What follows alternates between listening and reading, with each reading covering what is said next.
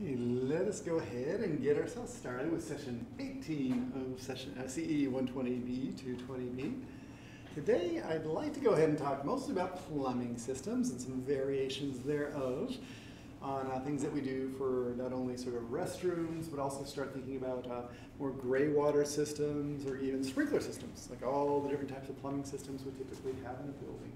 Um, but before we dive on into all that, let's go ahead and just sort of field any questions people have, either about the design project or and how we're going to go and wrap that up, or just anything you're still struggling with with HVAC, any questions that might sort of be lingering. Just in terms of the design project, the thing you should be thinking about doing is really getting ready for a presentation one week from today, okay, uh, where in about 15 minutes worth of time, you'll present a high-level overview of your project. Um, again, since it's only about 15 minutes for each of us, we really can't get into too much depth. So it pretty much has to be, you know, the high level, well, here's the functionality of what the building is, and you know, what we're trying to support there. But again, don't spend too much time digging in on that, in that uh, there's a lot of good information in there that ultimately you'll uh, summarize in your design journal. It's really more thinking about the various systems and how the different things have integrated together, what some of the challenges have been in terms of thinking about how all the systems work together. That's the thing to really focus your attention on.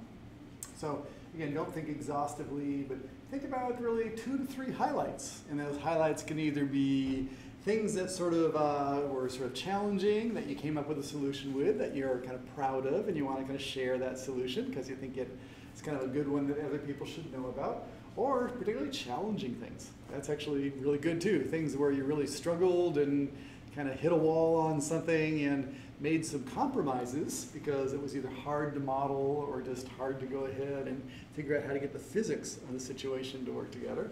But we all learn a lot from those too. So it's a, uh, at a high level, that's what we're sort of building towards. I will post for you a link to, it's not only sort of recordings of uh, last quarters, actually several quarters now, of uh, presentations people have made, okay, as well as like uh, pointers to where some of the PowerPoint decks are, PDFs, some of that stuff. So there's a lot of examples out there of how to approach this. I'd say that comparing what you guys are probably uh, up against against uh, versus some of the prior quarters is since in the prior quarters people were working on the same basic program, okay, they spent a lot of time just diving into the whole program, the architectural features, the structural features, the mechanical features, the plumbing features, kind of doing a pretty high level overview of all that stuff. And I think for us, it'd actually be almost more interesting to go through and just give this, the, the highest of level of overviews, but then dive into a few specific areas, as opposed to just trying to cover everything all over the place. Because, well, I don't know. We, can decide or talk about what's the best way to go through and approach it. But are there any questions in general about doing that? Or does that sort of make sense? Okay. In terms of when things are ultimately due, again, that project presentation, think of it as like the last major stop on the way towards home, but you're not quite there yet. So you'll go through and present it there. That's really your final kind of check-in with the whole group. But you'll still have the opportunity to kind of complete your model to the level that you want to uh, you know, through finals week if you want to, you know, even right up until the grading deadline. Just the idea is to finally go ahead and post your model, put a design journal entry out there that has a link to your model, as well as just you know a little bit of writing about really for all the whole the systems. You know, it's it's not a book, but it's a know, paragraph about each of the major systems and what some of the things are that are yeah the highlights of the system that you came up with, and post it up to your design journal.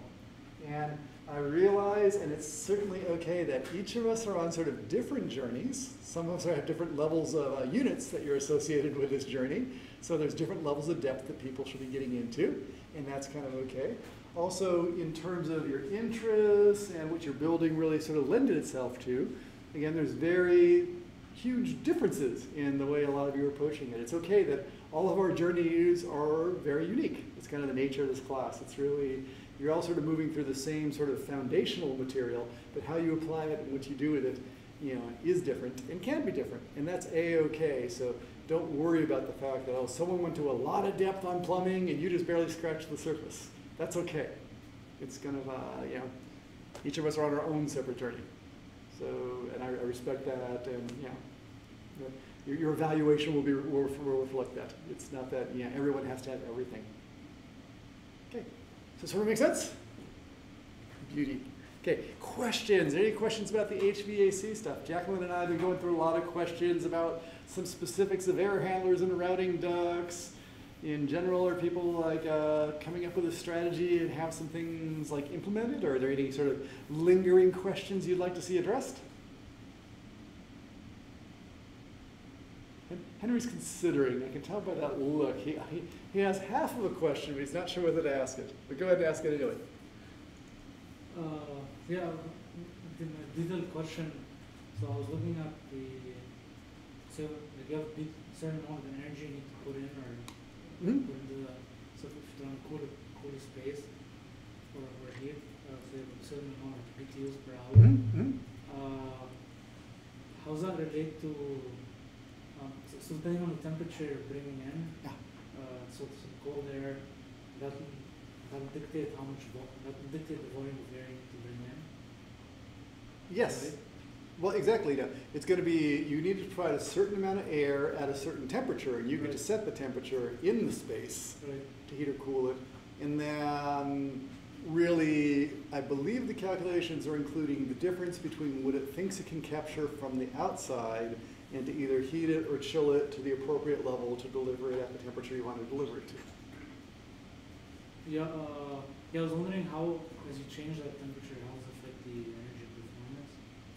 Oh, in terms of if you, for example, well, the outside temperatures, that's going to be dictated by the weather file. Yeah, Okay, so, you know, the energy performance numbers should reflect that in terms of if we put something in Palo Alto versus putting it in Abu Dhabi. It should be very kind of different on the cooling loads and because our, our natural air here is much more kind for cooling as opposed to kind of taking the very hot air.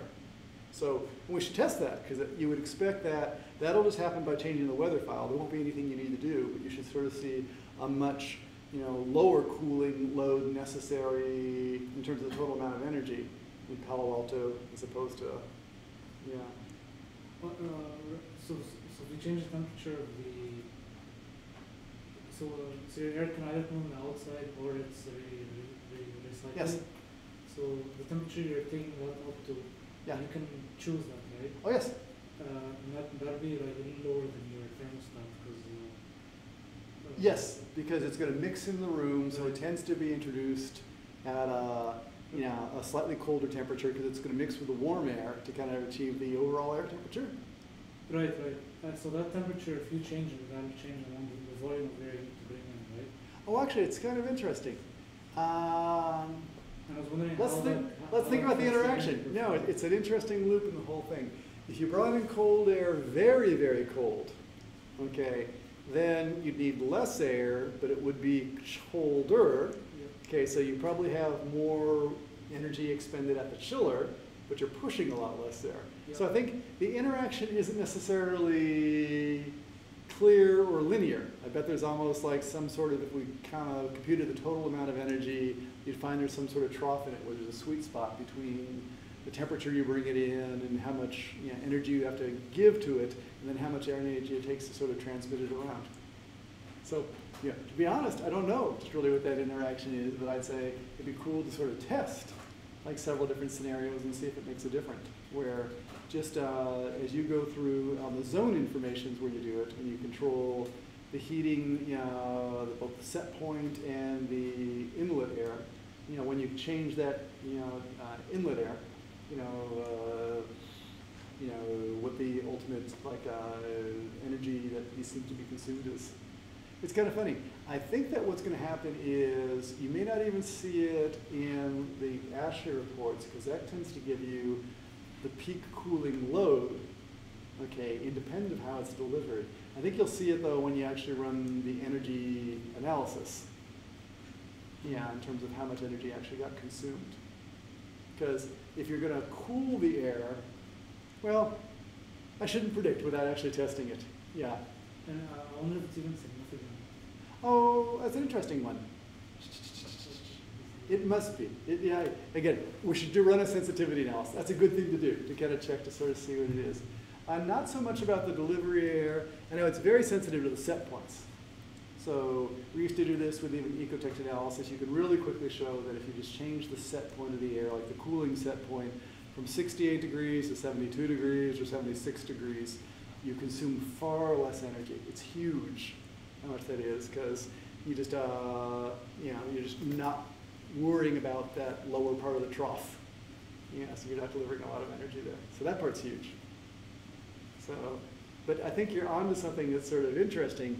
You know, for all these energy sort of uh, calculations, it's interesting sort of what the trade-off is between the human behaviors and what's considered an allowable comfort range and what people will tolerate versus what you try to do mechanically to the whole system. Because, you know, know, yeah, just a really kind of dumb example, but if you have an environment where you're heating a lot, it may actually be cheaper just to give everyone a sweatshirt as opposed to you know, trying to go through and like, uh, you know, introduce all that heat to keep all the air warm. Because, and that's actually sort of an interesting thing some people I think are starting to explore now. You know, at some level, you know, I'm not sure if I care about what the temperature is up in that corner of the room, as long as the temperature right here feels comfortable, which is why I say we're, most of us are layered today. in some ways, it's a little bit chillier than it usually is. Yeah, and that's, it's because it's, uh, you know, providing local comfort as opposed to what happens. So there's this, all these weird theories, like even for keeping you warm right there, you know, should I be doing everything through the blowing air, or what would it be like if you actually had a heated seat? And you were sitting on top of something where you felt warm even though the outside temperature was still relatively cool. You know, that might be more efficient. So it's interesting. Or even here, you know, what if we actually had, as opposed to the ducts up in the ceiling, what if the ducts actually ran through the back of the desk here and they were blowing warm air towards your legs and to your feet so you were sort of bathed in this little warm spot, but the rest of the air isn't so warm. Actually, where this really starts to factor in, not so much in small spaces like this, is especially when we get to big atriums and the coliseums and the airport concourses and things like that, where the people are all down in the lower eight feet and there's another 20 feet of air above your head that no one's in. At some level, it doesn't really matter what the temperature of that air is as much as just what the air is down near the floor. So you can sort of play with that to your advantage. Yeah, which is why, like Jacqueline, I think as we're talking about where you're putting the diffusers or on the side of the atrium, there's this whole issue of do they blow up, do they blow down? Because at some level, there's this large volume of space that people are looking at but they're never experiencing, and we may not care about the air temperature there. Well, it's kind of interesting, you know, because you have that large skylight on your roof, you could almost think that in, uh, if we wanted to heat, and you don't because you're in a fairly warm climate most of the time, you know, in a way, that's a very large, essentially solar collector at that point. So the air up near the skylight could be quite warm, even warmer than we would really want to be as humans, but you could be pulling that air down and using it to preheat the air that you're then going to take to the heating system. So we need to come up with the inverse for you, which is why in many of the Hong Kong commercial buildings, they'll run the pipes out into the harbor okay, and use the coldness of the water in the harbor to go through and pre-chill the water. That's going to be used for cooling. So it's, it's interesting. You know, same thing. Yeah, are you near the coast in Lebanon, or how far away are you from the coast? Uh, oh yeah, it's pretty like 7,000, 3,000 feet elevation. Oh, okay. so, so we're not getting cold. Do you have a deep lake nearby? Yeah, there is, uh, yeah, there is a lake. Yeah, this is something to consider. Actually, Angad sort of ran into this, just so you know, we were talking about at Jasper Ridge. He was working on that site, and he wanted to kind of think about tapping into the lake water and using it as a source of cooling, which in a lot of ways makes a lot of sense.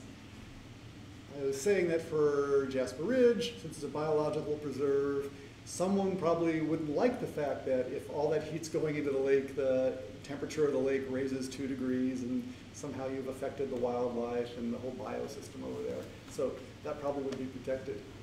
But even if you think about like one of the biggest sources of heat generation we have right now are all these data centers. So when Amazon builds a new data center or uh, uh, Google does or even Apple does or something like that, they put them in these really cold weather climates. Okay, because they can introduce a lot of heat or somehow just release it to the atmosphere. It's it's bitter, and you can pull in the cold air and use that, they're trying to release it into the water. It was actually even, I'll just share one last thing about the heating for you, a really kind of interesting paper that came out a couple years ago. It was someone suggesting that as opposed to having data centers, all these very centralized data centers, we could actually distribute them. So if you thought about a piece of a data center being under your house and a piece of a data center being under my house and Gustavo's house and Sungchai's house, you know, there may be enough heat generated just in that little piece of the data center to actually heat the house. So the king is really, can you go through and redistribute the wasted heat okay, into sort of a productive thing so we're not burning fossil fuels, we're just using excessive waste? That's what all the cogeneration sort of strategies are about. So it's a lot of cool stuff to be thinking about. Okay. Cool. Let's go hot in this case. Let's go ahead and shift our attention then over to plumbing systems and think about some interesting aspects there. Okay, now I've been working with some of you kind of thinking about your plumbing systems, and again, restrooms are probably the primary area that a lot of you have plumbing. Although, you know, in restaurants and cafes and stuff like that, there's probably some sinks and a dishwasher and some things like that. But restrooms are probably one of the bigger uses of plumbings that you have uh, to deal with. Again, the different types of systems we're going to deal with. It's mostly domestic hot water, cold water, and sanitary. That's what we're going to spend a lot of time doing. Gray water systems we'll talk about today, but we could also be collecting rainwater and using that okay, either filtering it, trying to use it as gray water, or using it to irrigate in the environment or in the landscaping.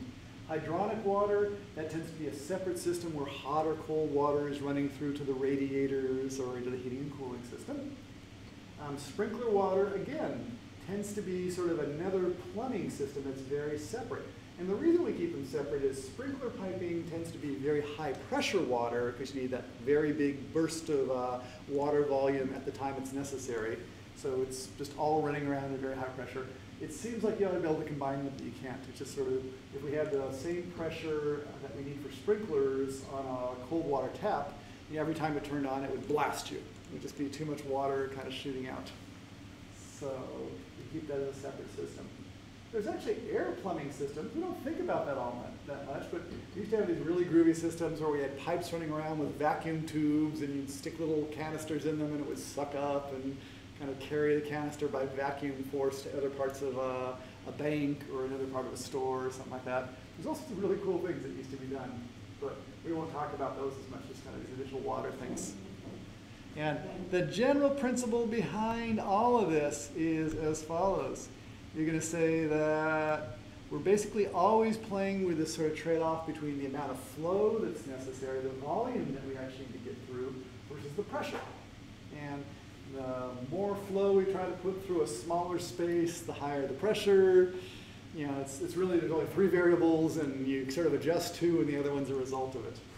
So we tend to go through and dictate things based on, uh, you know, oh, the flow requirements, okay, then we'll choose a size of piping that actually keeps the pressures at a reasonable amount. Kind of like what we did with the ducts, in that we had a flow, we had a certain CFM, we had a certain pressure we were trying to maintain, or in this case, a velocity, something like that. And then we would go through and size the ducts based upon uh, you know, how much we could allow.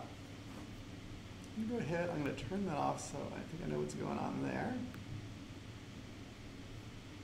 Back over.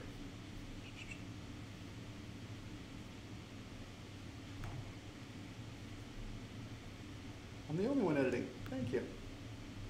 Okay, so in terms of our modeling, we started out with the whole notion of just using the mechanical template. Very important as you get going with this in the same sense that it was important for ductwork, from plumbing. You want the mechanical template, it has all the pipes, it has all the connections. If you don't, you sort of end up fighting it a lot because the elbows aren't loaded. It's only as good as all the things that it understands are on the shelves. So if you have a lot of parts on the shelf, then you make connections, otherwise it doesn't. We're going to talk about this whole idea of using MEP fixtures. MEP fixtures have connections on the in and outside, and we typically copy monitor them in. But I want to start with just the whole notion of customizing some Revit families, because that's an issue some of you may have run into. And here's the deal. At some level, as you're going through and you're doing your architectural modeling, you may find some sort of really groovy, you know, faucet or sink fixture, something out on Revit City that you really like the appearance of.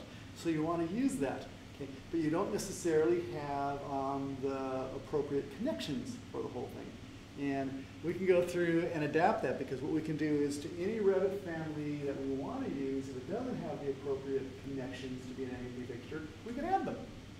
It's really very straightforward because what's going to happen in all these Revit families, they're really just spatial objects that are understood to have different connections to them. There's no real functionality inside the black box.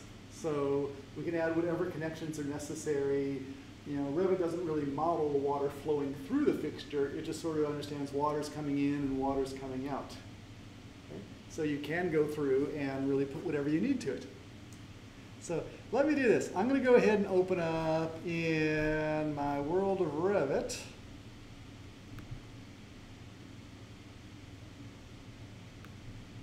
See what's going on over here.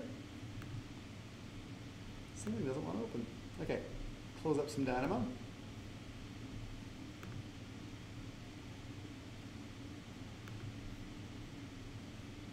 Close up some 220C stuff.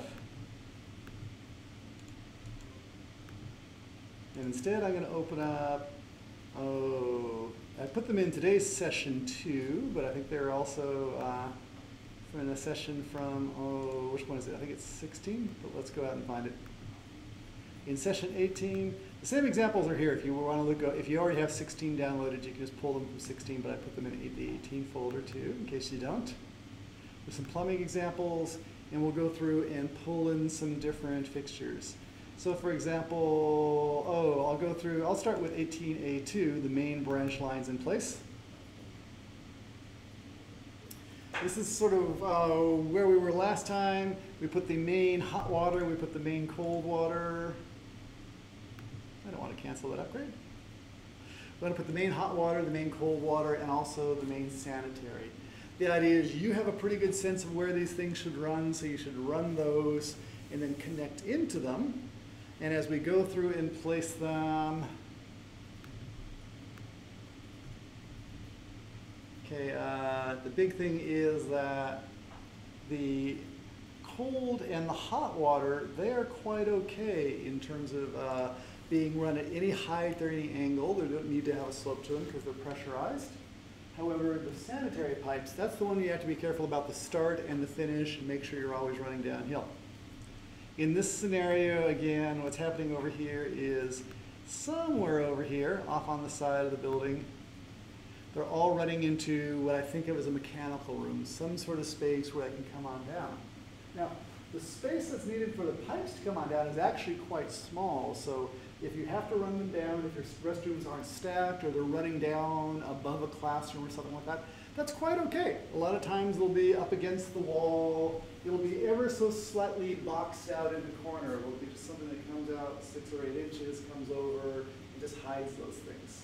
So, you know, it's quite common to go through and have things boxed out, have these little plumbing chases kind of running up and down. It's really not a very bad issue because they don't take up nearly as much room as ductwork. That takes up a lot of room. Okay, but even better if you can kind of combine them together. Okay, so I'm going to bring them over to this room. If I wanted to sort of, if that room was a functional room and I didn't want to go through and have them exposed, no worries. I could bring them up against the wall, but I would probably go through and just put some sort of a partition around here.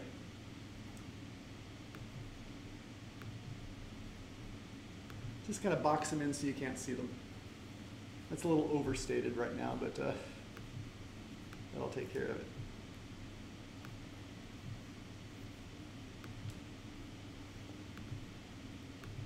Okay. Let us go ahead and talk about these fixtures. These fixtures, uh, you, you will recall, have uh, elements to them for the ins and outflows. Uh, that's because I downloaded them from the MEP temp template or copied them into the MEP template and it sort of put the equivalents in there.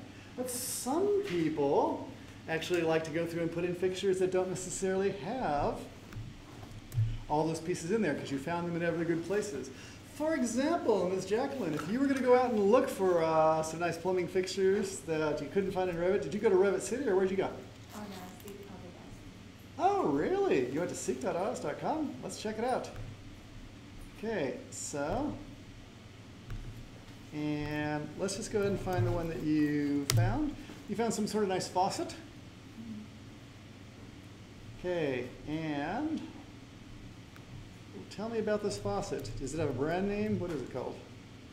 Delta Faucets. It is like a- Let's see. It says activated hand washing Does it a brand name? Mm, There's like some, oh, it- you can just like search activated hand washing faucet. Okay, go ahead. Sensor activated, external vent, Delaney, sensor activated faucet with external battery, a bunch of them in here. Okay. For all these, really what we're gonna do is just try and find one that doesn't have, it's like a Sloan, that looks like it right there. Maybe it's that one right there. Uh, the upper one. That one there? Mhm. Beautiful. So we found this fantastic looking Revit family. How can we go wrong with it? It's on their Autodesk site. So we're going to download it.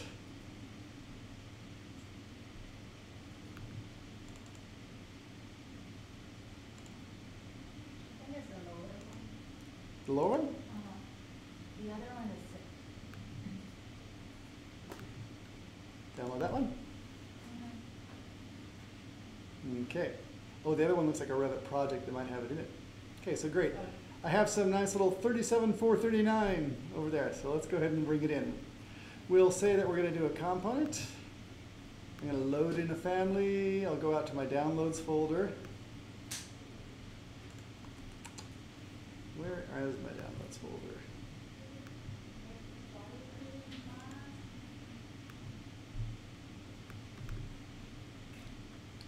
Okay, what was that thing called again?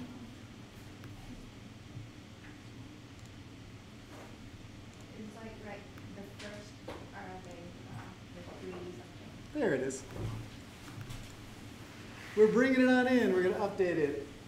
And as we're going through and bring it on in, you might notice some things about it. Okay, here it is. I'm just going to put it down on the floor right now. You notice if I click on that faucet, although it's a very beautiful faucet, notice it doesn't have any connections to it. And that's what we're after trying to fix. So if you have any plumbing fixtures or anything that you want to use as a plumbing fixture which doesn't have a connection, what you got to do is just do a little editing of it. And this is sort of a general principle that we can use for adjusting all sorts of things. What I'm going to do is, again, just choose that faucet. I'm going to say edit its family. Let's talk about how it's constructed. It's this nice looking object. It's really good. It has a little sensor there. It's probably battery operated, but we can make it low voltage too if we want to. And what we are going to do is basically add some connections to it. And here's how you do it. What you do is, you can sort of see it has this very nice form. Probably got modeled in some other tool. I imagine it's got all sorts of geometry to it.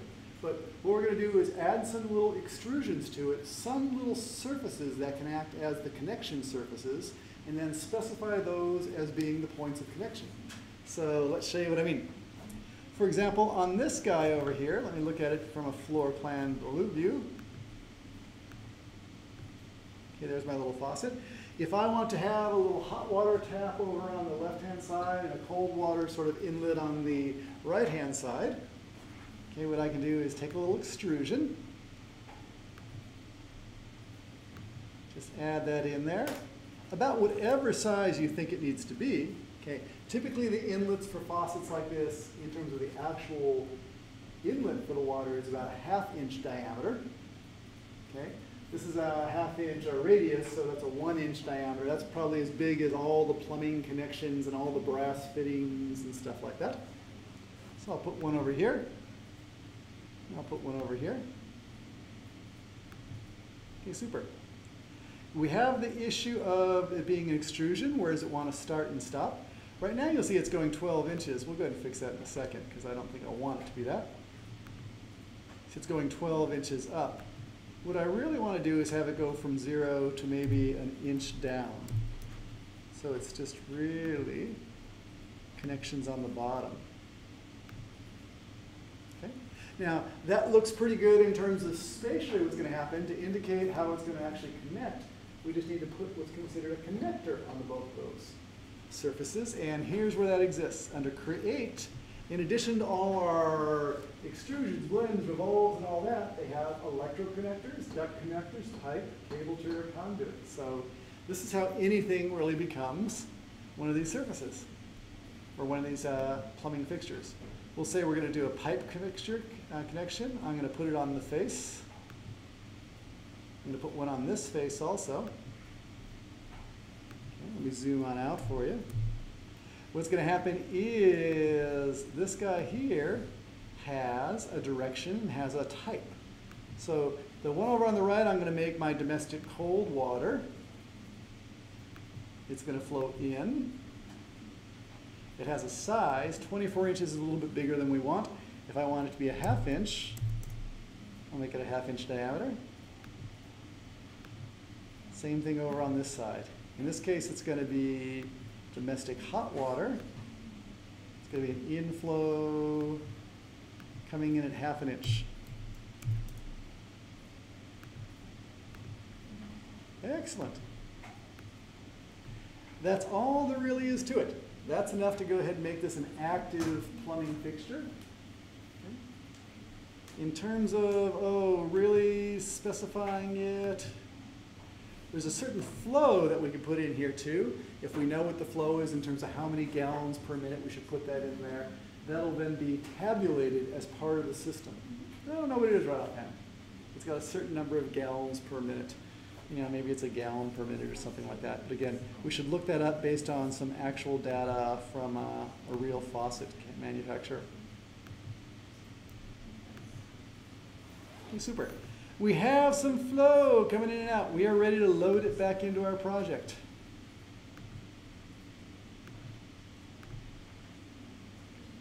We'll overwrite the existing one. And now what's going to happen is over here, now this has an in and out. So that's all there is to it changing it. Yes, Henry. Uh, so for, for the, uh, the faucets that you open and close. Yes. That's not a constant. Ah, okay. So this would be, think of it rating as the maximum flow. Oh, Okay, so, because what you tend to be doing with all this is when we do our flow rate calculations, believe it or not, we actually sort of consider the worst case. So, you know, when we're figuring it out, we'll figure out if everyone flushed the toilet at the same time and all the faucets were on at the same time. Okay. Which isn't really very accurate. You know, we could do a nice simulation to prove that we probably need, oh, you know, 40% of that capacity or something like that, just based on how people actually use all the fixtures.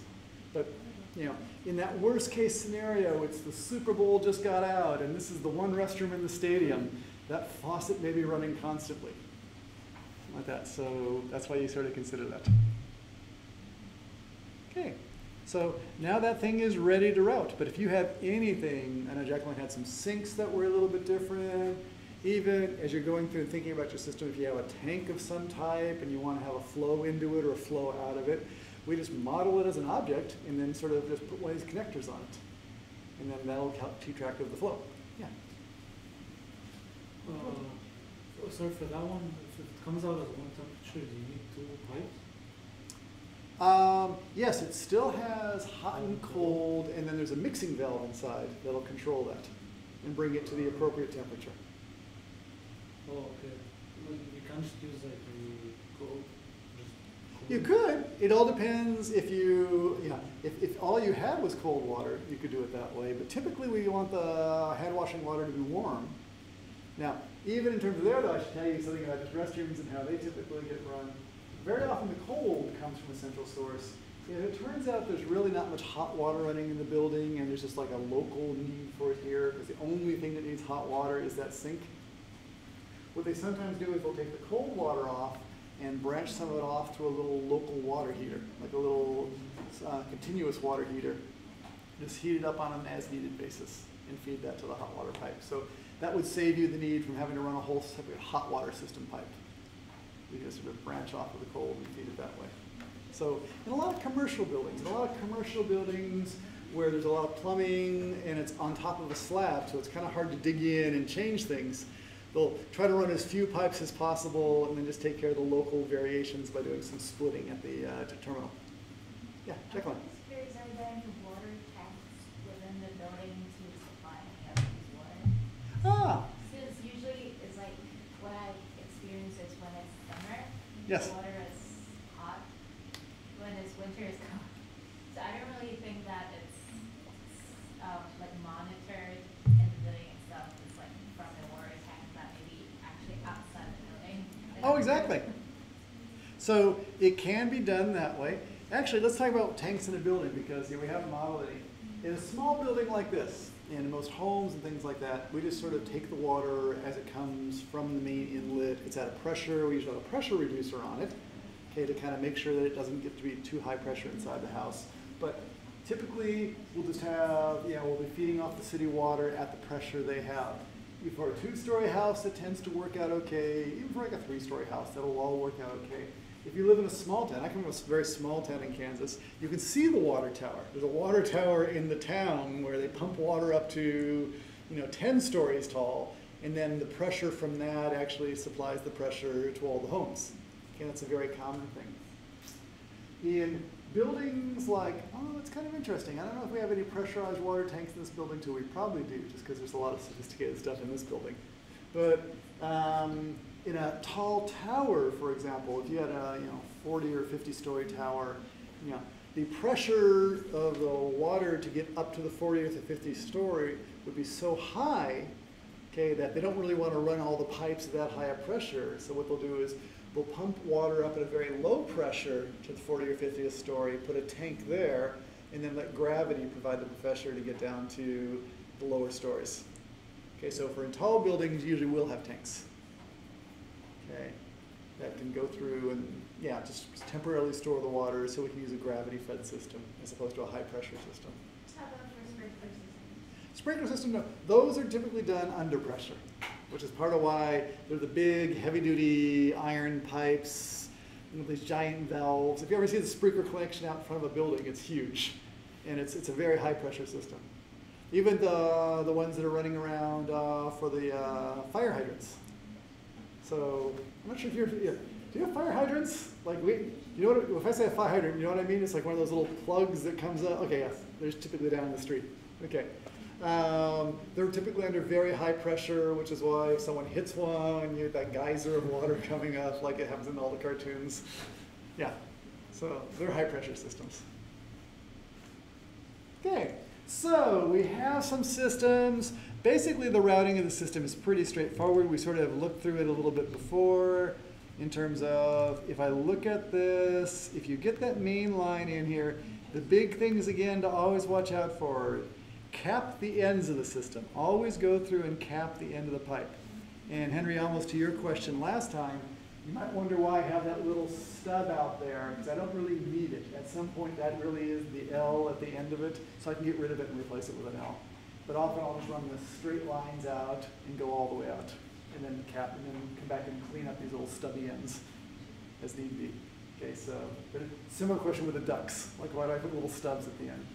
Okay, we have the cold water running to this side, we have some hot water running over there to over the sinks. But let's just kind of talk about this. Here I already have the sinks routed, but let's kind of show you kind of, oh, for the most part this works pretty well, but I'll show you the place where it gets in trouble and you need a little bit of fussing to make it work. So here's the deal. I've got all these different connections in here. Oh, for example, I'm going to take that toilet right here and I'm going to say connect into and connect into the sanitary pipe and it'll do okay. And I can take that toilet over here and connect into the sanitary pipe and that'll do okay also. So go ahead and practice that. That's actually really easy. Let's go ahead and connect them on in. And for the most part, if there's plenty of room for the pipes, then you don't get yourself in trouble.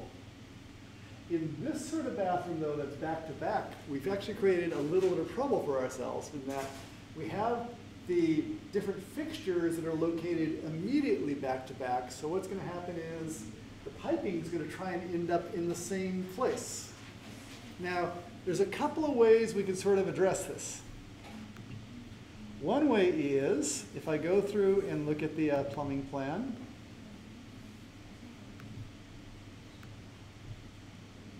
If I offset those toilets ever so slightly, if I just have that one a few inches over and account for that in my layout, I probably won't have a conflicting problem. It's a little unrealistic right now, but just to show the point, since those two toilets are offset, I could go through and connect this one in.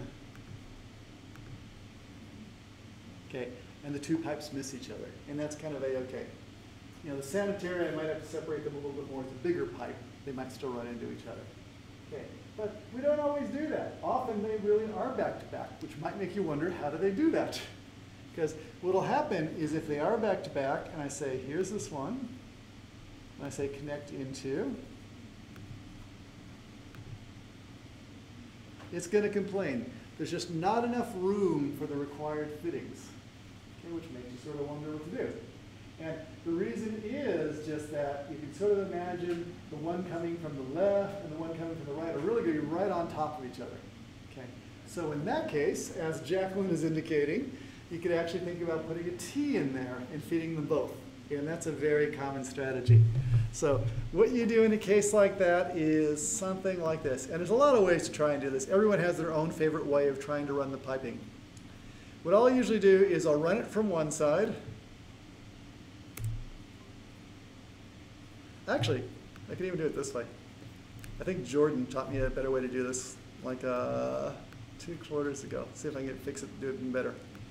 That's, see how it's currently a T right now, or a little uh, L, excuse me? Okay, let me try this. I think there are still two sides of this connection that are open. Those are indicated by the little plus signs. So you see the plus sign on the left and you see the plus sign below? If you want to take an elbow and make it into a T instead, what you can do is just click on that, and it now has an open fitting. At which point I believe I can take this. Can I get it to there? Oh, come on. Well, if I can't do it that way, what I'm going to do is just connect the pipe. I thought that was going to be so clever, but if it's not going to be that clever, I'm just going to do it manually. I'll say do the pipe. It's going to be, oh, I think I called it a half inch pipe, or is it an inch pipe on this? Might be an inch pipe. Uh, what size is it? It's an inch pipe. So I'm going to go through and say, let's run this pipe. It's going to be an inch. It's going to be uh, cold water. So I should be able to go from here. See if I can get it to there. Oh, there it is. It's, it's right there. Now that's not very good. Control Z. Let's take a look at what's going on. I believe, oh, in terms of all these different things in here, it'd be helpful to turn on inherit the elevation. That way, as opposed to being at minus three foot three, it'll pick up the elevation of what I click on. Well, maybe I'll go from this side.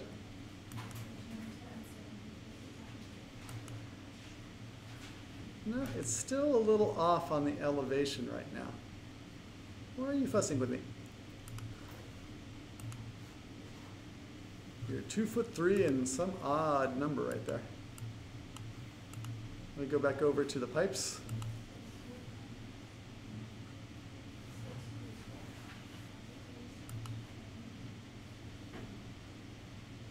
Hmm.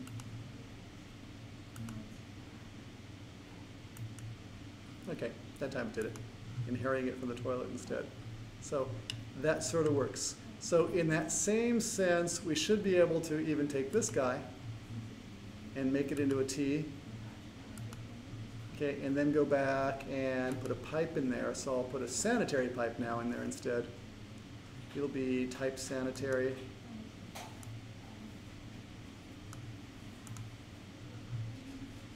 And then I'll make it the same 4 inch.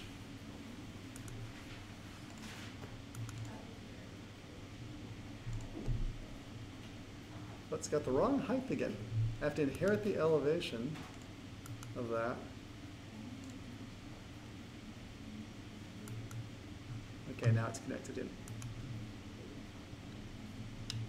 So there's a little bit of fussiness that goes into putting the pipes in there, but I'd say compared to the fussiness of getting the ducts to go to the air handler, this is nothing. This is actually relatively easy in the scheme of things. So we can go through and adjust some of those in there. Another way to do it, just to sort of show you another way to do it that I have also sort of practiced is let me control Z, I'll go back out. Okay, what I'll do is this.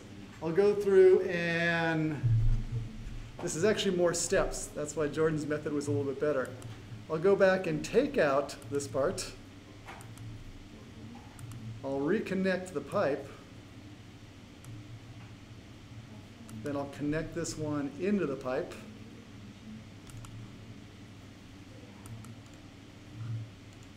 Okay. And then I can go back and make that a T. Looks like it's not quite connected there. Let me undo that.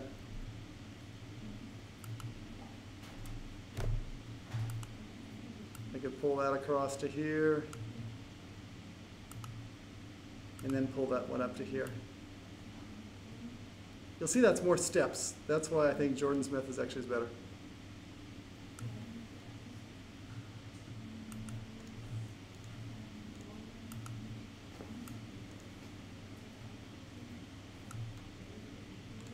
Again, it looks like I'm missing by a little. Well, I'll undo it and go back to the other one.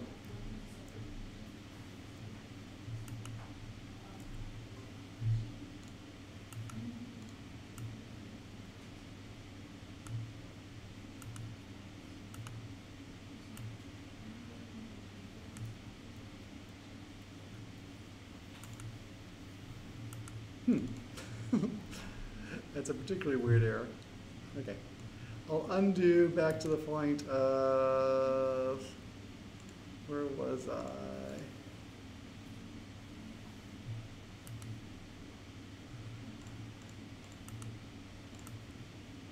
Put that back. Reconnect this.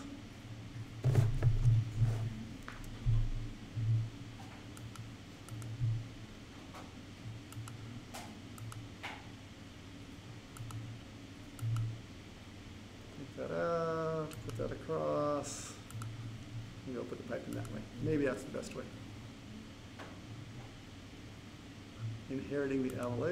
Inheriting the size is a good thing too.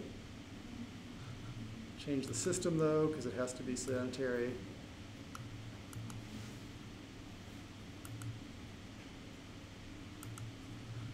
Okay, that's well connected.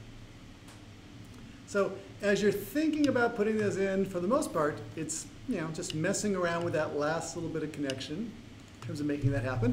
But let's talk about a couple scenarios that sort of uh, we might want to help oh, fix up a little bit in terms of making things look good. Um, for example, this urinal is kind of an interesting case. Let me kind of show you what's going on with it. If I connect that in over here, and I connect it, See how it drops a pipe straight down to the ground, okay, and then goes over. In the same way over here, it has a pipe that goes way up and then comes back over to the wall. And if you've ever been in a typical men's room, you might understand or might recognize that we don't usually do that. We usually kind of run the pipes back to the wall as quickly as we can, as opposed to kind of having them come all the way up that way. So it didn't necessarily do that very good a job of routing them. Same thing over here. Let me connect one of these uh, sinks in. I'll connect into, and see it's going to drop straight down. So the question is, what can you do about this? And the key is, you just have to sort of outsmart it. You just have to tell it what you want and sort of get to the point where you're very close to the connection but not completely connected, and then it'll connect into where you leave it. So let me show you what I mean. For example, if I wanted to go through and fix that sink, here's what I would recommend doing. Come on over to the plan. And I think some of you have seen, I play around with this a lot. I tend to keep myself a couple of different sections hanging around in here. I'll have a section that's perpendicular to the pipes and I'll have a section that's parallel with the pipes because that makes it a lot easier to connect. We ran into this when we were trying to connect our air handlers. Because if I can look at it dead on, I can then start running pipes vertically pretty easily. So here's my deal. Over here, for this sink, what I would really like to do is, as opposed to going through and running down outside of the wall plane, I'd like to run up inside the wall. So what I'll do is I'll say, let's do a pipe. It's going to be, oh, like a one inch pipe or something like that. I'm going to go, it's going to be a sanitary pipe. I'm going to connect. So I'm going to go from here straight on up. A little big right now. Now make that smaller.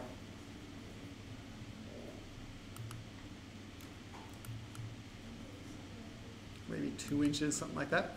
In general, as flow goes around, you're going to keep on getting bigger as you keep moving through the systems. But let's connect and look at our bathroom.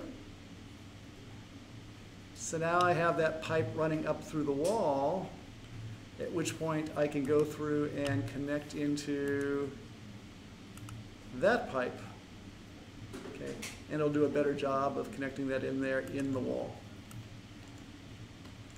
Okay, and that's a little closer to what we have in mind. Okay, so don't be afraid to sort of run up pipes in the wall or something like that just to kind of get closer to what you want.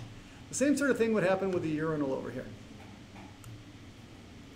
Here's the urinal. You see that's kind of a bad looking connection right now. It's kind of happening right out there. So what I'll do is I'm just going to take out this part of the connection. That's a little reducer right there. Pull it on over. I'm going to go back to that section.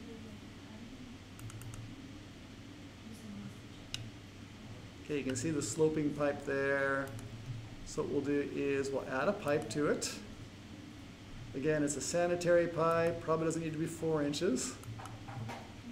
But I'll run it up directly in line. I think I have inherit size turned on. That's why it keeps on making them so large. Two inches instead.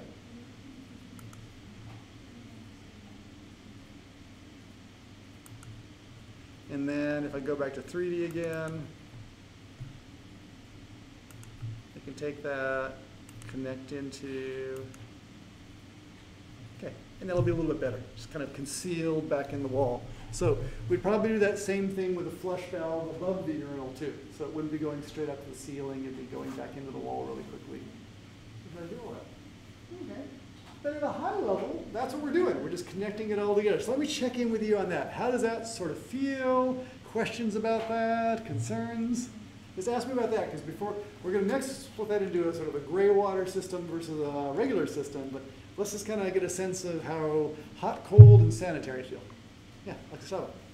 How do you route the pipes if like your sinks are opposite on the opposite um, side of the bathroom as your toilet?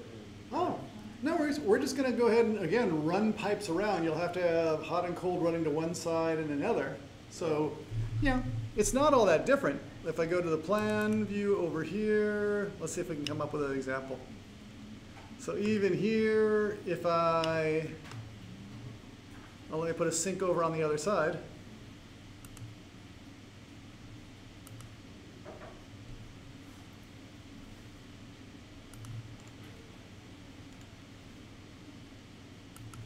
So just somewhere, we're going to get ourselves over there. So let's think about where we want to have that happen.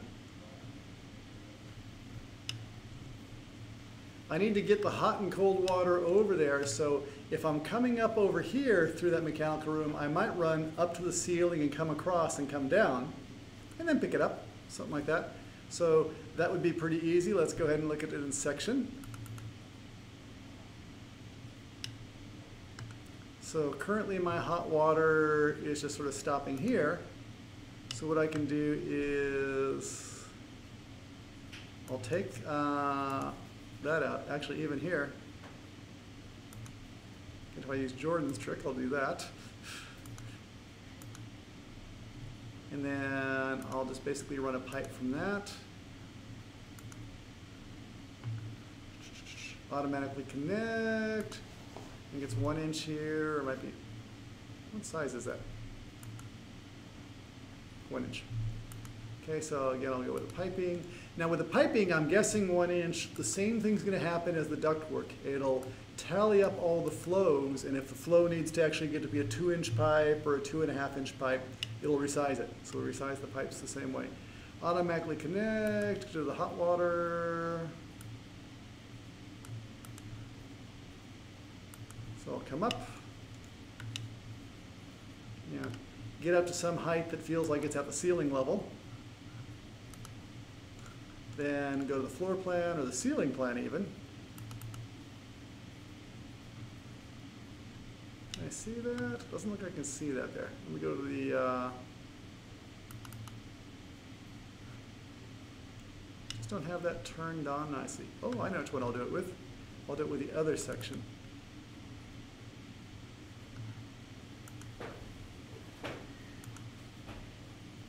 Nope, I'm not seeing them all the way back there. Okay, I just need to go through in this view over here. Oh, there's a funny thing in terms of all these. Let me go ahead and apply a view template, which is the plumbing plan template. That'll get the colors and everything looking the way we want. And let me go ahead and make that wireframe. Actually, looks like it's already wireframe. Let me change the uh, view range. Where'd the view range go? I just have the worst time with range these days.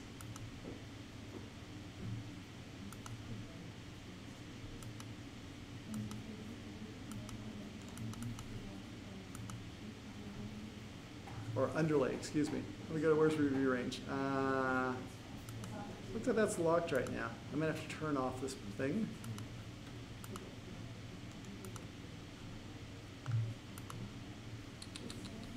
View range right there. Go down to level one. Okay, all that was just really just trying to see things, so I apologize that that was so like uh, protracted. But so now, oh, whichever one of these is the one that's kind of uh, the one going up. I was hoping to see it in red and green. And what I want is the plumbing plan temp, hang on, I'll fix this yet. View template, I'm gonna say, let's do the mechanical plumbing plan, but I'm not gonna make it that, I'm gonna just apply its properties.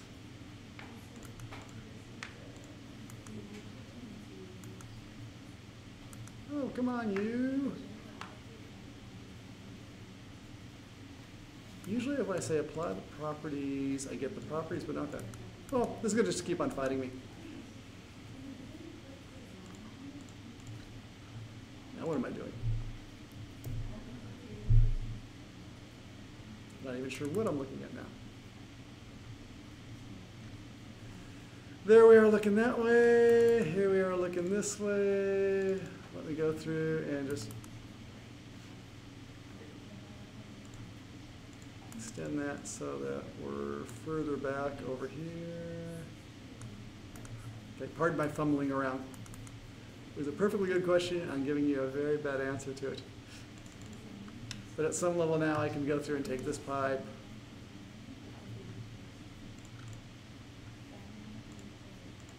I think I'm looking that way. Bring it on over to here. Maybe I'll run it down in the wall. So if I go back into 3D.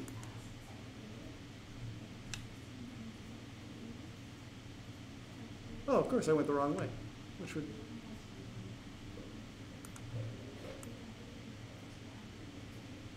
Oh, I see. No, I didn't, I didn't take it far enough.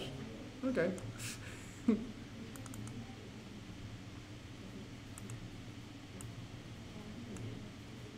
Not to worry. The nice thing is, is as soon as you hook the systems all together, they're pretty whole.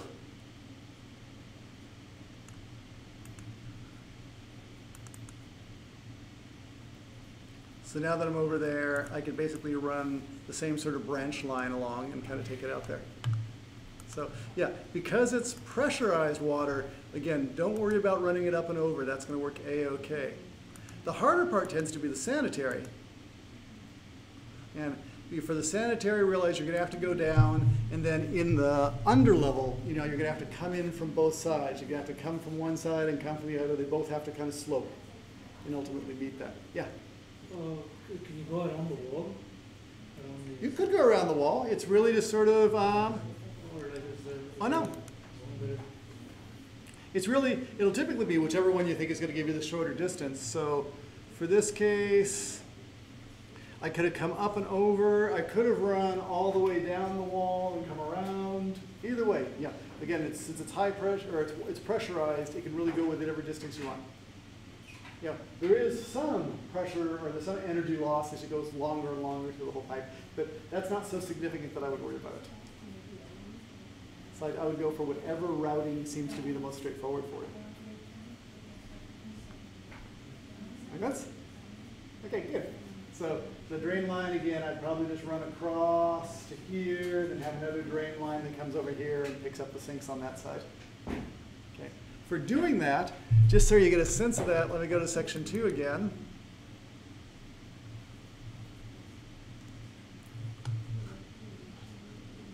I can make this this right view template. Plumbing section. Oh, it's because I'm saying mechanical instead of plumbing. That's probably it.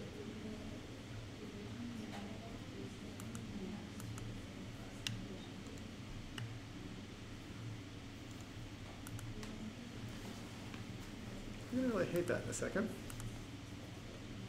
Okay, now let me change that back to uh, fine. For this line down here, which is the sanitary line coming up, this is one where it actually makes sense to, actually I'd probably do this in the floor plan view as opposed to in this view, now that I actually think about it. I'd come on over and I'd say, let's go through and run a sanitary line. For the sanitary line, let's go through and automatically connect. I'm gonna inherit the elevation, I'm gonna inherit the size, I'm gonna get all those different things. Sanitary. Okay, but now in terms of the sloping direction, if I'm gonna start from the existing line, I'm gonna go uphill as opposed to going downhill, because I wanna sort of pick up whatever the elevation is on the downhill side already. So I'm gonna say slope up as opposed to sloping down. Okay. And now when I come across here, it's gonna read, start at the lower elevation and bring it up as we go across.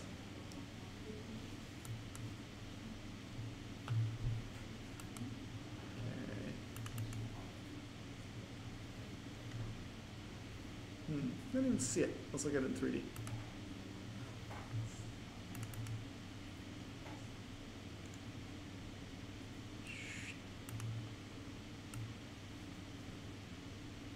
See how it's coming up ever so slightly? So, yeah, and with sanitary, always keep track of what's uphill and what's downhill.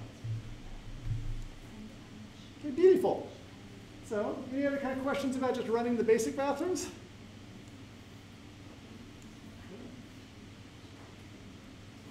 You, you almost look like you have another question. Ask it, go for it. No, I, I think I, so the pipes are above the ceiling of the lower level, right? Yes. But they're serving the, but they're serving the floor above you. yeah, that's. That's almost always the way we do it, is that, you know, we almost always put them in the ceiling of the floor below. And if you're on the first floor, you have to put them under the slab, or you put them into the ceiling of the basement, like that. Which is what, no one likes to run pipes under the slab because they're really hard to fix later. You put them under concrete. So even if we need to put them below, it might make sense if we were being a very good designer to make like a little vault, like a little channel that we can run the pipes through so that later, if we needed to get to them, we could lift off a few panels and still get access to them because no one ever likes to chip up concrete. Uh, These are serving the floor above. If there were water pipes right here, you actually sort of, what are these ones over here? I'm actually sort of curious. what was? There's green going this way, there's green going that way, it looks like water, something like that. Yeah, know, THW, water supply, water return, TH water, what is that? But generally, I think those are serving what's going happening above us as opposed to what's happening here. Yeah, Tyler Air, when we took a tour of the roof, I, you know, they explained what the, uh, the different types of water was. It's, I think the TH water is. It could be for the thermal system. I don't know the what the The T chill? is, but it's chill hot, uh, chill, um, water. Oh, in that case, it's probably actually, oh, in fact, you can sort of see, these are actually, they're serving these chill beams. If you- If you look over here, you can see coming off to the top, there's actually, it's going up, there's a valve up there. You can actually see it's a little motorized valve, and then it's going over and coming down into the chill beams. Yes, I'm thinking for the, those other pipes that we're thinking is about the DAC. Which other pipes? Uh, the hot water or Oh, like yes. sanitary, because the stack is what we see, so it's about that ceiling. Oh, it's still gonna be below, because ultimately they wanna run it below all of the steel. It's just that I think that because, oh, it's interesting, if I think about where I am and where the restrooms are, We're pretty There's- far. yeah, there's a, the stairway's right here, but it's further down this way a little bit. So, you know, we're just not right where the uh, restrooms are. Although even in here, I'm surprised I don't see any sprinkler piping. You see, you see, you see any sprinklers? I'm kind of surprised about that. So most of this piping looks like it's all just supplying the hot and cold water. There's sprinklers here. You see a sprinkler there. And I see two, three, four. That's kind of interesting. I'm sort of surprised there's not one in the middle because the way sprinklers work is they're going to basically, from this location, it has to be able to throw enough water to kind of cover the entire area. So, you know, this spacing from here to here, which is about 12 feet, that kind of makes sense. It's sort of interesting that there's nothing between here and there. Unless, Jacqueline or Sanjay, could you see anything above your head? Is there a sprinkler in there? Not really. Yeah, I don't really see. So I'm kind of surprised. There's sprinklers in the side rooms, so I'd expect there'd be something over here, but I don't see anything right here. But again, had to be considered carefully. Is that one that's below? That is, that is a sprinkler. Ah, very good, Secretary's got it. There's a pipe that's running very high. Oh, I see. It's way high. It is there, it is here. It's not right above, uh, like, uh, the, equipment. So there's two interior ones for the upper portion. I'm not sure if you can see it, Henry. It's right there, way up in the top. Okay, so there's probably one over on this side that's comparable. Yep, it's right there. Okay. So whole separate system, high pressure water coming through for this. Okay. Let's give you just a little variation. We'll talk about sprinkler piping, so you can kind of think about where that fits in the whole thing too. Although I want to show you gray water. Is anyone going to do a gray water system? I'll show you an example, but don't feel like you have to do it. Just so you sort of get a sense of what it's like. For a gray water system, here's what's going to happen. It's actually pretty straightforward. We just need to sort of split our system a little bit. What we do, let me, I'll just open up an existing one. There's a model of it out there so you can sort of take a look at it.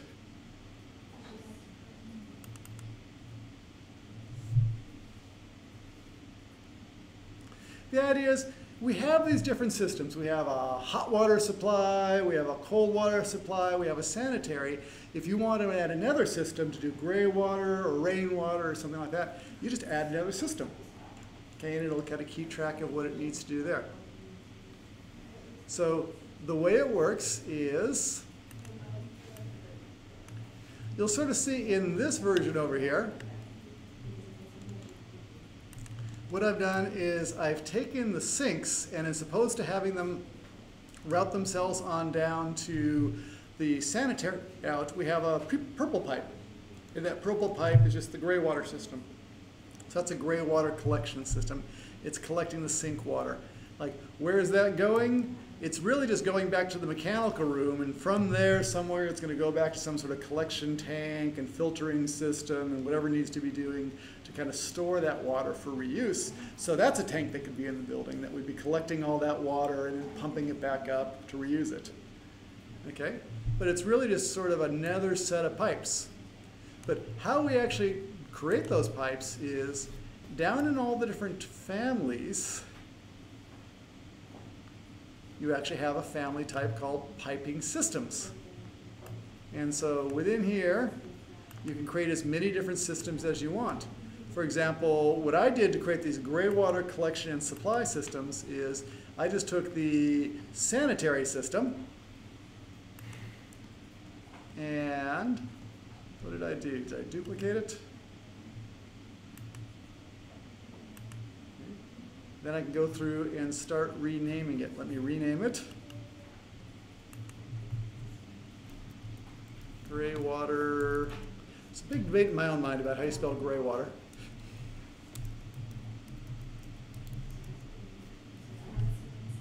Okay. So now that's another system that we could assign things to. That's all there is to it. In the same water, same sense, um, we were going to take something which is very much like domestic cold water and duplicate it. And I'm going to rename that and call it gray water supply two. Super. Now, it's easy enough to allocate pipes to that system. When you're going through and making pipes, you just choose a pipe and you choose which system it belongs to.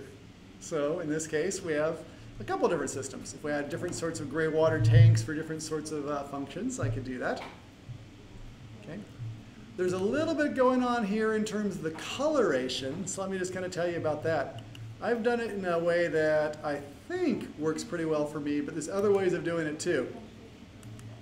Oh, this is considered the gray water system. Let me try over here in the gray water here in terms of its properties.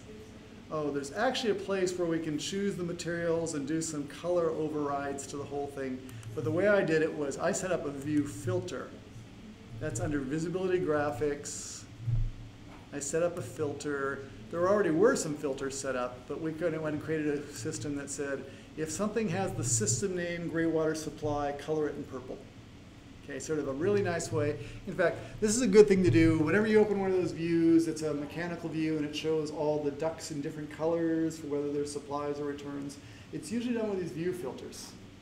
How this works is, if you want to set up a filter, let me, for example, I'll create a filter to show the gray water 2, gray water collection 2. I'll say, let's go ahead and duplicate this existing one. I'm going to call it gray water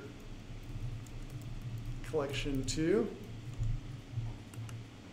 And the criterion is going to be go ahead and grab, and you can choose which pieces. In our cases, we were just choosing pipes and things like that.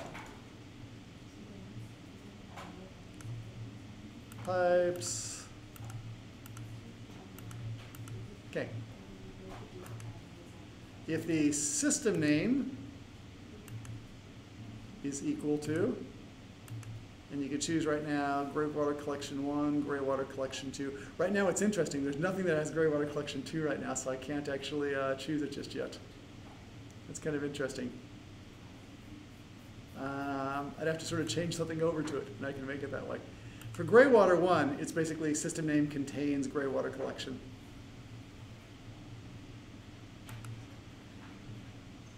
Maybe I'll say contains, that's a little kinder.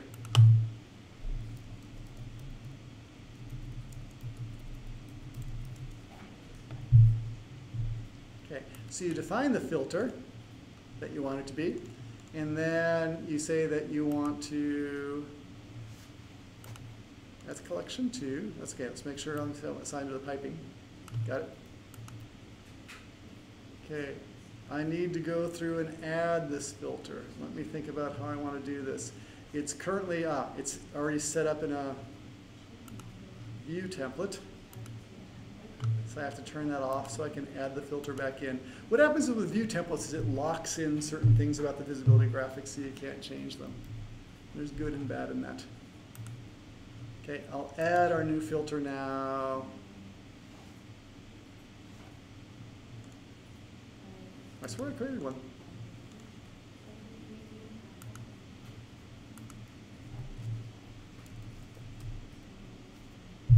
Actually, the better way two do it is grab that and duplicate it.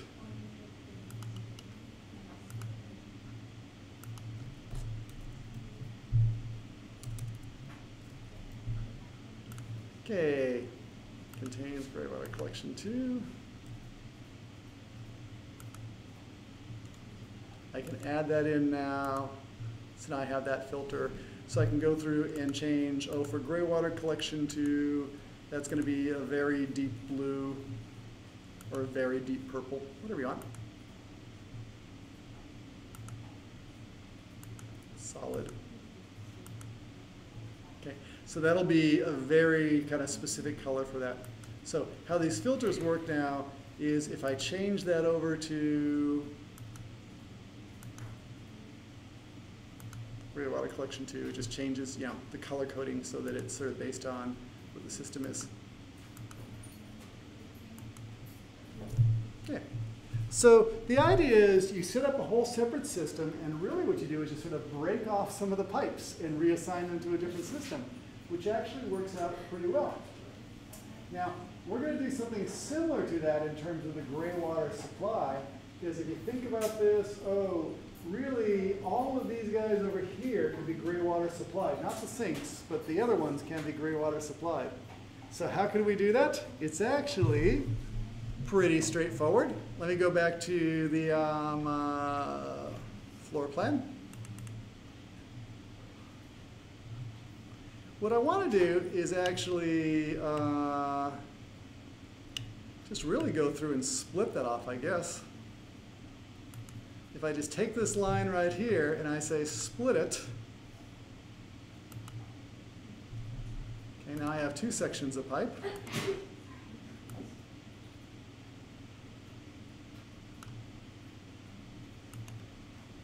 Let's go back to 3D. Okay, so see how it's split into two?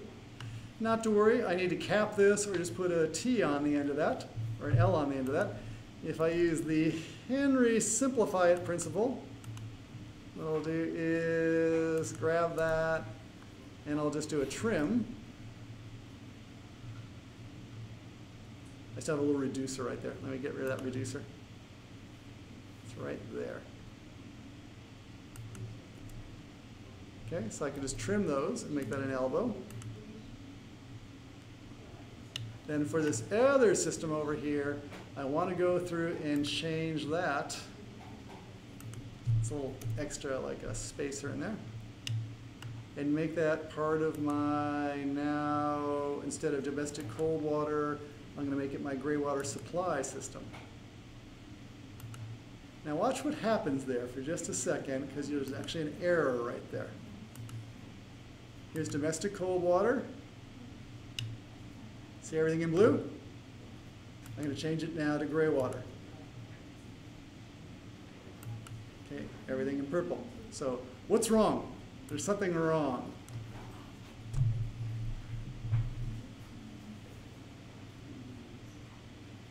And I'll give you a hint. It's actually not on that side. It's somewhere else in the model. When I go through and I change this side over here, and I change it from gray water to cold water, watch what happens at the sinks. The sinks are blue. If I change this over here, and I change it to gray water, they turn purple, and the sinks turn purple. So hey, that's not fair. They're separated, why would they change? That doesn't make any sense at all. And it's just a little bit left over in terms of the way Revit's wired together. Even though we physically broke the connection, it's sort of saying, oh, I know your connection's broken right now, but you probably do want to keep those in the same system.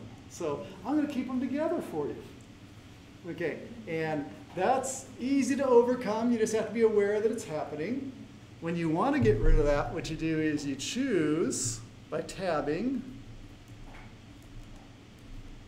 That's the whole system.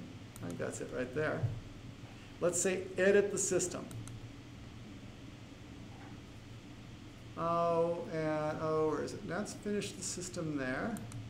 Hang on, I'm going to find it yet. It's the part, I'm going to find something that says split the system. I'll try those. Piping systems. Ah, divide the system, right there. What dividing the system does is it'll take the two separate physical networks and just break them into two different logical networks. So that'll be enough. So what's currently the two separate parts, this part and this part over here that are disconnected, will be broken into two separate ones so I can change their designations separately. That make sense? Yeah, it's just a little leftover oh, from uh, just how we originally modeled it. Now there's two systems. So this system over here can be considered the domestic cold water, and that system over there can be considered the gray water system. Okay, so we'll still need to go through and run this pipe back to the mechanical room and bring it down to wherever the tank is. We'll have some sort of tank and a pump with some pressure to kind of put the water back in there. But that's all there really is to gray water systems. It's really just breaking off but only the drainage, so rather than going to the sanitary, it goes to a separate system, and also pulling the supply off. Okay? And if we were going to do a rainwater system, we could have some nice uh, drains that are up on the roof that are collecting water and take them to a tank. There'd be usually a pump to sort of put some pressure behind it, and then like uh, take them up and use them to whether we're irrigating or flushing or whatever we're doing. Would it be the same tank for the rainwater as the gray water? I think it can be mixed. It's one of, it's one of, I think the way it is in our, you notice how it just says recycled water? Okay, yeah, on those little soy, uh, signs that are inside the restroom. So I think you can mix them. Is all this question of just really how the water is filtered or not. The rainwater is actually relatively clean, although there's some debris that comes in from just crud that's on the roof when it runs through it, or yeah. So I think they actually do mix them and just filter it and sort of deliver it as a single system as opposed to two separate systems. But you could keep it separate if somehow, like, actually in the scheme, that's not so bad. Rainwater flushing toilets is no problem. Some people have this weird notion about like hand washing water, whether you should be irrigating with that. Because it's soapy, you know, it's still pretty good irrigation water depending on your soap, whether it has phosphates in it and stuff like that. It may or may not be as healthy for the plants. Okay, but you know, people are very funny about recycled water. In fact, you know, perhaps you know, do you use recycled water in Malaysia? In- In Singapore, they tried very hard to use recycled water, you know, as domestic drinking water, and that somehow bothered people. It's if you could go through and do all the lab testing, you'll see that it is every bit as pure. It's probably even purer than some of the water that we get from our taps around here. It's probably as pure as the water you're buying downstairs at Coupa, you know, all that. Yeah, but still people, oh, it's recycled water. I don't want that. So there's this weird kind of social anxiety about it. But the science says you could actually go ahead and mix it all together. So I'd probably do that just to kind of keep a, a simpler system. Okay. Actually, one of the things that I always marvel about that's just sort of really strange in this yeah, building, I, yeah, what is it? It's, it's basically the notion that it says that yeah, the urinals and the toilets are flushed with recycled water. Okay, it has one function. It's trying to advertise the good sustainability benefits, you know, that we're doing with recycled water. You're not wasting the water. The other thing what they're trying to communicate is that it's not potable water. Okay, which always just struck me funny because, you know, it's you have to think about the number of people who are drinking out of the toilet or drinking out of a urinal. It's a, yeah, most people's common sense kicks in. My dog doesn't is not so sensible about this, but it is weird when you see those things that you know this this restroom is with non-potable water or something like that. It's just I don't know. It's always interesting to me. Like, I figured you guys would figure that out, you know, like when you went in there. Okay, enough of all that. Let's, as we're finishing up today, let's just talk about uh, sprinkler systems. Sprinkler systems are the last piece, and they're actually pretty easy to work with. So here's the general principle. You got some high pressure water coming in. It's going to come all the way down through some pipes. We're going to have a network of pipes that runs typically through the ceiling. But sometimes there's wall outlets too, but ceilings are pretty good because what's going to happen is all those little sprinklers, those little guys at the top, they're all set up so that if they encounter heat, okay, often they will release. There'll be some heat latch that'll release, and as soon as one goes off, often they all go off because you're trying to protect a bigger system. But there's different designs. Sometimes you only do it for the ones that are directly affected. Other times you do everything. Okay. They're often sometimes triggered by smoke, but you don't like to do that because if it's not really heat, it's a lot of water, and it's a huge mess to clean up. Sprinklers are running. Um, Sprinklers tend to be used as our primary fire suppression system. A lot of buildings use sprinklers. In libraries or buildings where there's sensitive electronics, sometimes they won't use water. Instead, they'll use a gas of some type, some sort of dry system so that they can starve the, uh, the fire of oxygen, okay, but not really have a lot of water damage. Okay, but it would still be a piping system, it would just release a different kind of fluid. Okay, so they're running around up in here. Generally, they're placed based on the notion of people will design this based on the locations and the pressure of the water. You'll get a certain throw. So if you think of like umbrellas of water coming out, the idea is you don't want to have any gaps between those. So you place them such that you have some overlap, but you try to space them sort of nicely so that as each one throws water from the uh, uh, pressure that it has, it's going to kind of blanket the whole area. Okay, so some rooms, like the little side rooms, they have one sprinkler in each of them. This room has, looks like four up there and four in the middle, so it's like eight sprinklers in here. Okay, so at some level you just plan the layout. But once you plan the layout, let's show you what you do. If you want to open up a Revit model, go ahead and go to 18B1.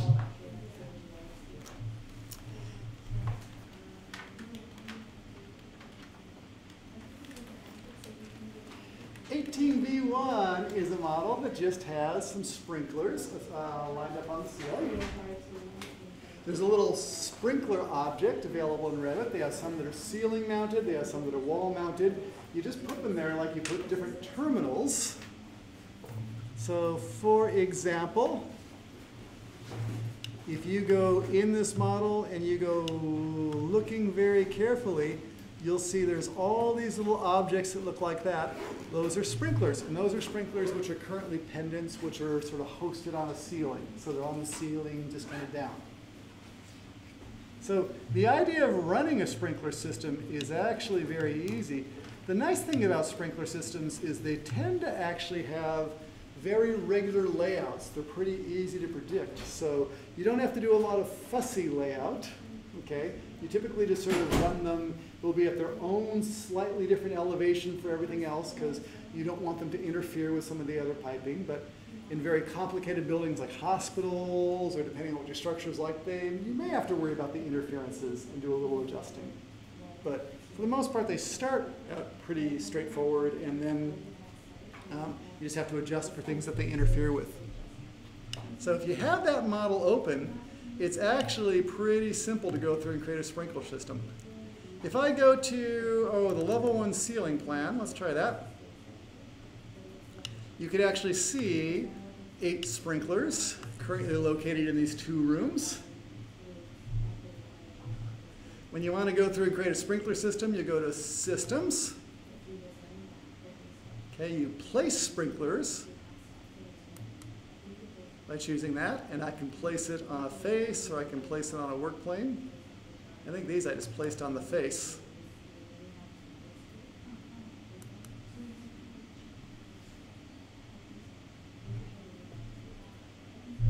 Actually, that's in a bad location. I once got in trouble with people on the internet for an example where sprinklers got placed in the corners of ceiling tiles. Because they don't get placed there, they almost always get placed in the center of a tile. Something like that.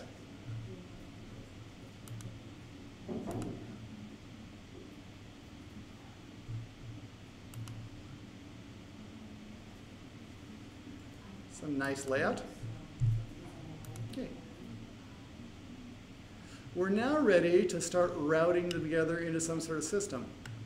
Okay, so let's see what we can do here. I'm going to go through, oh, I'm trying to remember what I have to do. I click on one, oh, what am I blanking on right now? It's very simple. Do I choose the pipe first? Maybe I choose the pipe first. I'm going to go to the plumbing plan. Or hang on. Let me go to the one that says 3D sprinklers. I have a pipe right there, okay, which is designated as being a fire protection pipe. Okay, what I'm going to do now, fire protection wet, is basically add some piping to, or add some terminals to it by going to the piping systems. I'm going to say add some, edit the system, and now I'm going to go through and add some things to it. So I'm going to add that sprinkler, and that sprinkler, that sprinkler, that sprinkler. And I'm just gonna go out and grab all the sprinklers.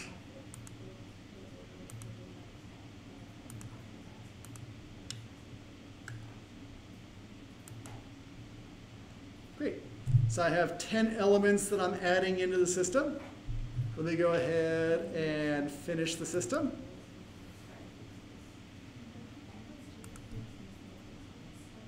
Hang on, I'm missing something ever so slightly. I got that, I got my piping system, I don't want to divide the system, I want to say edit the system. I'm looking for the part where I do the routing of the system.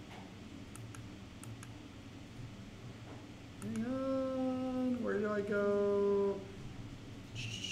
Let me try, oh, choosing all of them. There we go.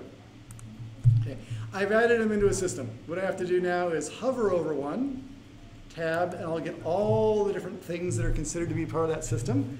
And as soon as I have all of them, I can say, let us go through and generate a layout for the system.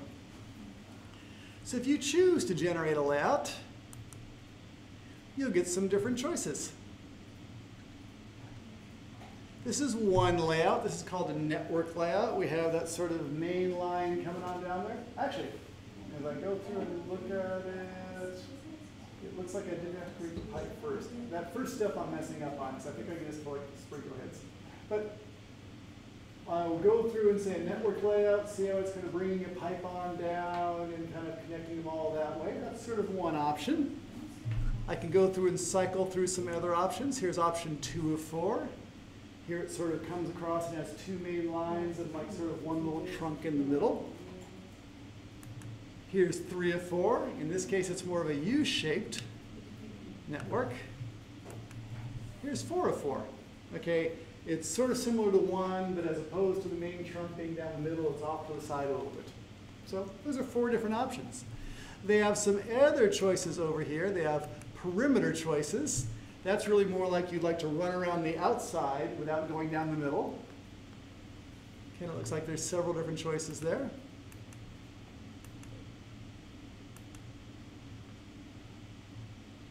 Then I also have some intersections choices.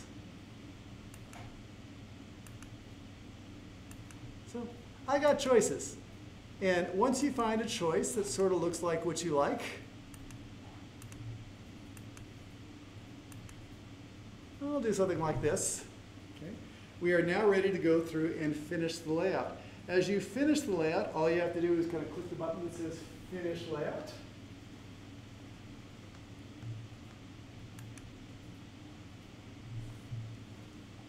It'll put the pipes in place, and you basically have a sprinkler system now. The final step, though, is just to really connect the main sprinkler line, the one I chose up front, which I don't think I need to at front, and basically connect it right there. So the idea would be right back over here on this corner. Right now it's just kind of a weird intersection in there. Oh, it's interesting. It actually joined it on in in some bizarre way. Okay, take that out. And now we have the sprinkler line coming up and feeding all those others. So that's how you go through and create a sprinkler system. It's actually sort of easy. You just put the terminals where you want them and go from there. Let me just try something a little bit different because know, in the spirit of I don't want to sort of mess you up on the front part, let me go back and try putting a few more sprinklers in and I'll put them in a different system. I'm going to put some sprinklers over here.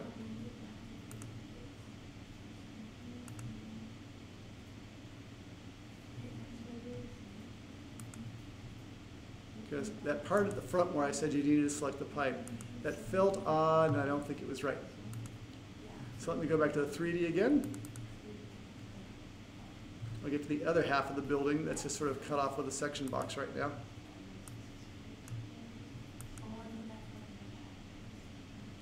Okay, there's my sprinklers. Let's see what I got to do here. I got one sprinkler. Oh, there it is. It's right there. I just have to choose one and say create a system. It'll know that it's a fire protection system. Okay, and now I can edit the system and add the back in again. So The only variation from what I told you the first time is you don't need to select the pipe. You just need to select one of them and say create a system. Okay. I'll say, great, I'll finish editing the system. Now they're all considered logically to be part of the same system. So now I can generate the layout. Choose the layout I like, finish the layout. So sprinklers will go really quickly and easy for you. You just uh, go ahead and locate them, generate that, and then it's all about just is there an interference somewhere? Is it hitting a piece of ductwork? Is it hitting a piece of uh, uh, structure? Is it hitting something like that? The good news is, in the scheme of things, and think about the hierarchy, structure's hard to move, so it tends to dominate. Ductwork tends to get second billing because it's also hard to move, but tends to be easier than structure. Now, sprinklers tend to get like, they're pretty low on the low to totem pole. They have to sort of move out of the way wherever they need to be. And electrical is the absolute lowest in terms of the hierarchy because it's very easy to run conduits wherever you need to. So there's not even pressure requirements on them. So there is kind of a hierarchy to how they get coordinated and how you solve problems. You know, any questions about sprinklers? Huh? Okay, in terms of your models, yeah, be thinking about if you get the restrooms all sort of routed. Don't worry if you have like eight restrooms, you don't have to get them all routed. Get like one of them really well routed. If you have two that are right on top of each other, even better because you can copy and paste all the plumbing up and make your life easy that way. But uh, you know, try and get one of those. But if you get sprinklers done, it's because you really love this stuff and you have time on your hands. You know, so don't feel like you have to go through and get all that done, but I still want to show, let you know how it happens. So in all your infinite time over spring break, where I know you're going to keep on working with your models because you love them so much, you can go through and uh, put sprinkler systems in at that point. Okay? Sounds good. Let us break for today then.